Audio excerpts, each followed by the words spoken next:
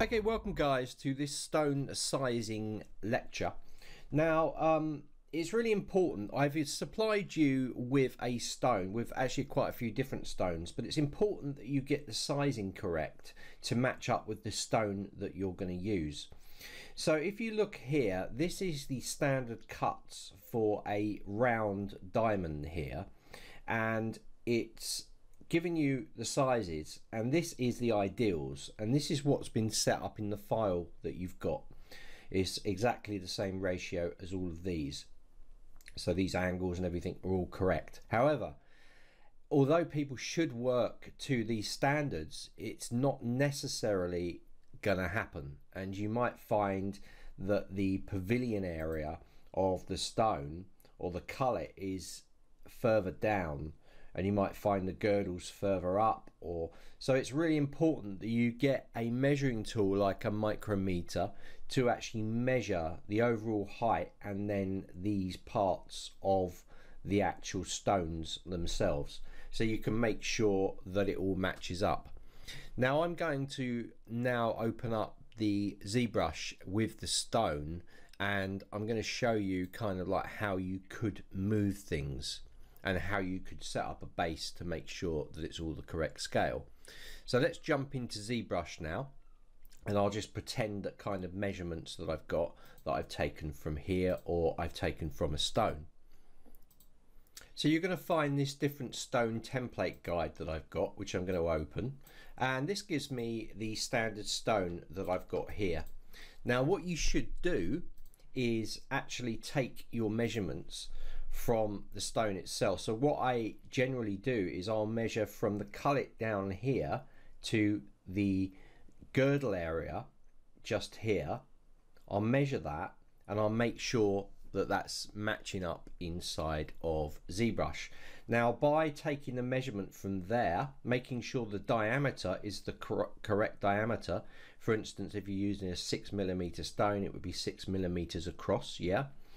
So um, if your height, what, whatever your height is on this part, then you'd measure down and that will then give you the angle. So the um, five, five or six millimeters across there, whatever your stone size is, and then that distance from there down, once you measure it, that will give you that angle. So that's the angle where the claw would fit round here. Okay, so also the same with the top. If you're measuring to the table, this top area here, then this angle here, if you've got that diameter measured out, then that angle there will be correct. Now in the ideal world, that angle will be 34.5 and this angle here will be 40.75, but that's never going to, you know, that's probably not going to be the case, but it should be close and close enough, meaning that you can maybe have to uh, burl out a bit of the material to get it to fit precisely. So it should be fairly close, but um, it's probably not going to be accurate unless you're really lucky. So you might have to do a little bit of work. So to actually move these areas around, what I tend to do is I get the stone, I'll then come into Scale Master, I'll size this, and this is a 5 mil stone. So if I was making it a 6 mil stone, I just hit the 6 here hit enter and then I just resize this and it would be a six mil stone.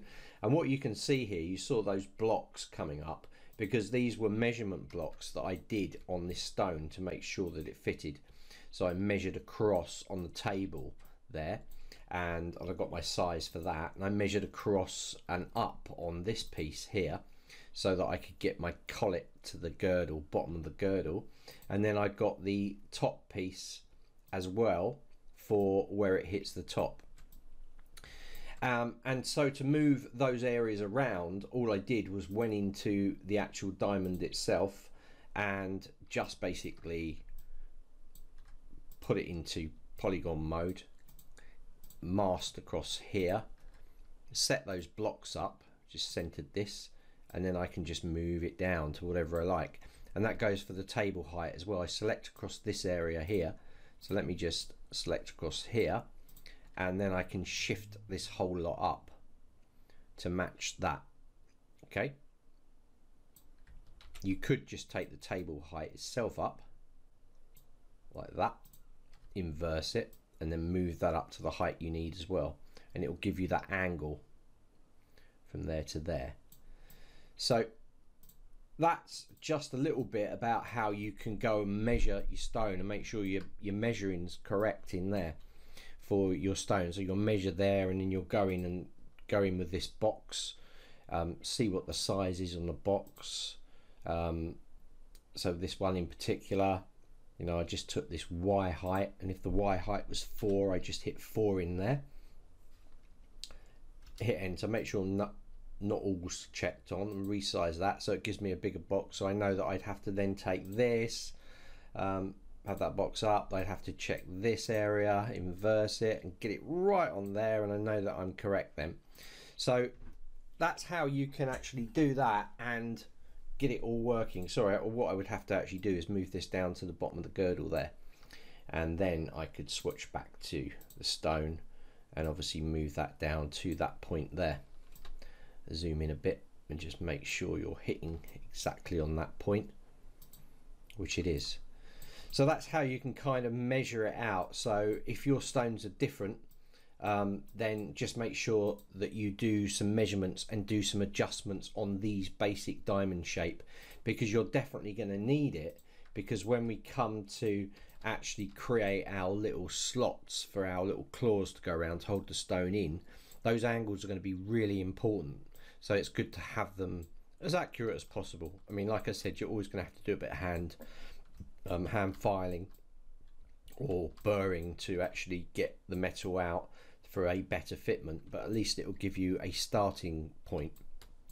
So it will create, create the little notches in there, like we did for section 10, where I actually went in and where's the where's the piece?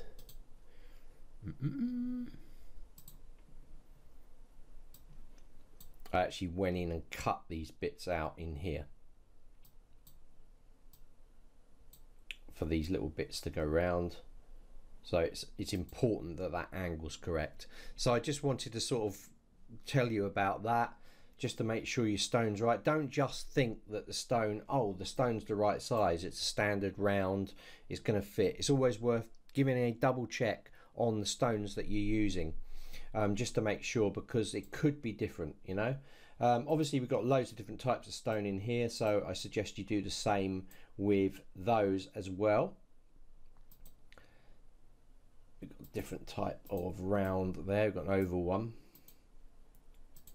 an emerald. Got a round, which is the one we just worked on.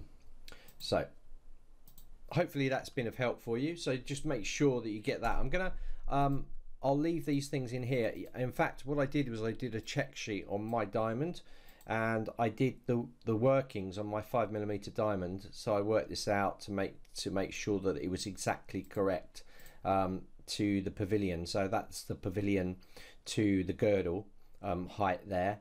Um, the crown or the girdle to the tabletop. Um, that's the height there, and I've got the total height here.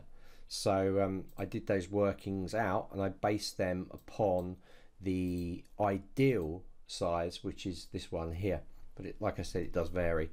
So yeah, there's loads loads of uh, information on the internet. So just make sure that you go and have a look and see what um, what's about.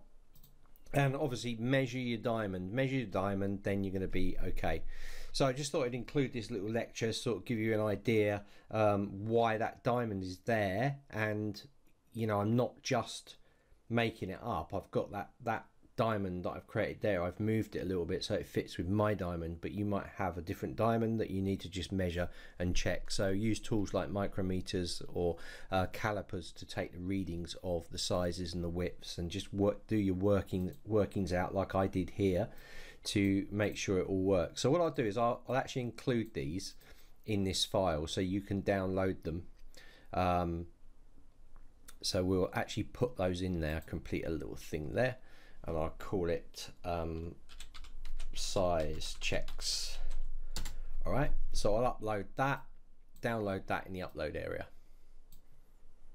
in the download area.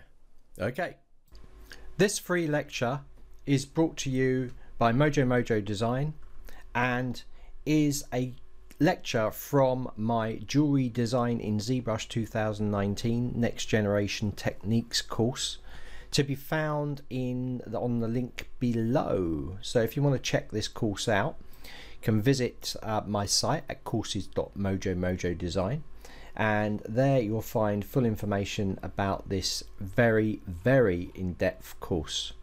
These are the sections and the lectures of this course. It's absolutely huge and I'm adding to it all the time